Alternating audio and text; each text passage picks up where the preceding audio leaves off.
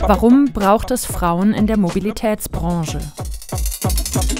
Wenn Frauen äh, im Bereich Mobilität arbeiten, die gucken natürlich anders auf die Sachen drauf. Gerade auch ähm, will ich abends spät noch mit dem öffentlichen Verkehr fahren, da denken Männer nicht drüber nach. Frauen wissen alle, dass es ein Problem ist. Also egal, ob sie schon selbst Probleme hatten oder ob sie jemanden kennen, der Probleme hatte. Aber als Frau weiß man das einfach, dass es Angsträume in diesen Bereichen gibt. Bei der Angebots- und der Verkehrsplanung muss die Perspektive aller Bürgerinnen und Bürger beachtet werden. Und das beinhaltet nicht nur die Perspektive der Frauen mit ihrem eigenen Mobilitätsverhalten, sondern auch die Perspektive von Menschen mit Behinderung oder ähm, Menschen mit besonderen Anforderungen. Das bedeutet aber eben auch, dass es nicht nur auf der Arbeitsebene quasi beachtet werden muss, sondern auch die Entscheidungsposition mit den dementsprechenden Bürger und Bürgerinnen besetzt sein muss.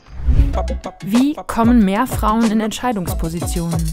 Es ist bei vielen Positionen im Mobilitätsbereich immer noch eine politische Entscheidung tatsächlich. Ich bin aber auch ganz sicher, dass Frauen sich das eben weniger zutrauen als Männer. Wenn ich gefragt werde, traust du dir zu, einen Verkehrsbetrieb zu leiten, äh, traust du dir zu, Minister zu werden, dann äh, gibt's immer ähm, doppelt so viele Männer, die hier schreien als Frauen, die dann sagen, oh, ich brauche, glaube ich, noch ein paar Jahre und ich bin mir noch nicht so sicher.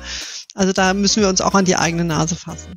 Was essentiell wichtig ist, ist tatsächlich auch das Studium oder die Ausbildung, in die man geht, indem man eben versucht, gezielt ähm, eben zu fördern, dass eben nicht männliche Personen in diese Professionen reinkommen. Da sehe ich auf jeden Fall auch die Universitäten ähm, und Ausbildungsstätten in, in der Verantwortung, dass da eben gezielt das gefördert wird und nicht immer nur das reproduziert, wie man es immer schon gemacht hat.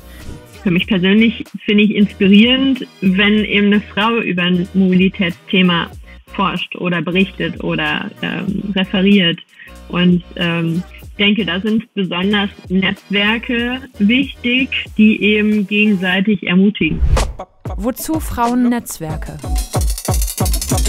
Äh, damit sich mehr Frauen in der Mobilitätsbranche einbringen können, braucht es unter uns Frauen Austausch, Unterstützung und auch Chancen. Und hierfür sind Frauennetzwerke einfach ein super Ort, denn sie bieten die Möglichkeit, erstmal Kontakt herzustellen mit anderen Frauen aus der Branche, aber auch sich auszutauschen über Karrierenmöglichkeiten und auch Joberfahrungen und sich eben auch gegenseitig zu supporten und zu pushen. Und es ist eben auch ein geschützter Raum, um vielleicht auch mal schwierige Themen anzusprechen, wie zum Beispiel Mobbing oder gar Sexismus. Also ich bin ein großer Fan von Frauennetzwerken, weil es einfach darum geht, aus derselben Lebenssituation sich gegenseitig zu unterstützen. Oft sind das ja Frauen, die sozusagen schon geschafft haben. Also es ist schwierig, an die zu kommen, die eben hadern und nicht wissen, wie sie da reinkommen.